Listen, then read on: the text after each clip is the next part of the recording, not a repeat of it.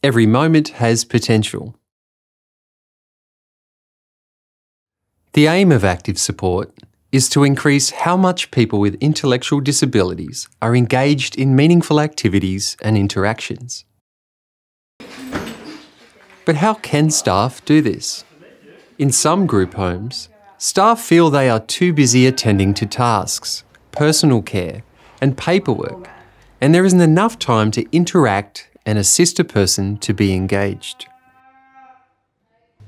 To make time, staff try to get all the tasks done themselves and then organise a special activity or outing. But while staff are busy, the people they support are waiting and doing nothing. This way of working needs to change. There are many opportunities for a person to be engaged throughout the day. The first essential of active support is every moment has potential.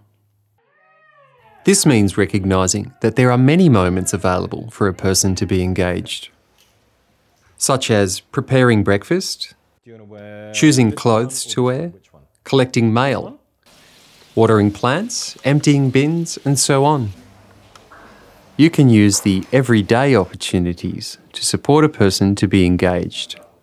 If the people you support are involved in the household activities, then they are engaged and can develop their skills. But if staff do everything for them, then they'll miss out on doing things that are part of everyday life. That's it, perfect. One way of applying every moment has potential is when a task needs to be done to think, how can I support someone to be involved? For instance, if dinner needs to be prepared, how can I support someone to be involved? It helps to think in steps and break a complex activity into simpler parts. For example, cooking involves getting vegetables from the fridge, washing and chopping them, getting utensils, stirring food in a fry pan, pouring in sauce, and so on. Each of these steps are opportunities for a person to be engaged. They may perform the step independently or with support. Here we go. And Engagement is not just about household activities.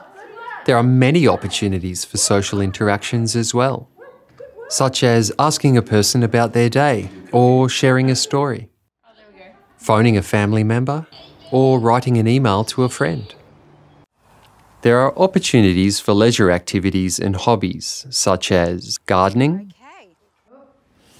sewing, painting, playing a game. Uh, uh, excuse me. There are many opportunities for engagement when a person is in the community. Selecting and paying for items at a store, choosing a book from a library and checking it out, greeting a waiter, chatting to a cashier while making a purchase. Applying every moment has potential also means noticing when someone is disengaged and thinking, what are the opportunities available to them to be engaged right now in this moment? Whether it be an activity or a social interaction at home or in the community.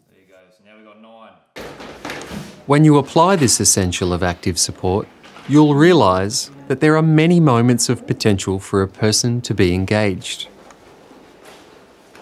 By breaking complex activities into simpler steps, you create opportunities for a person to be involved. Done.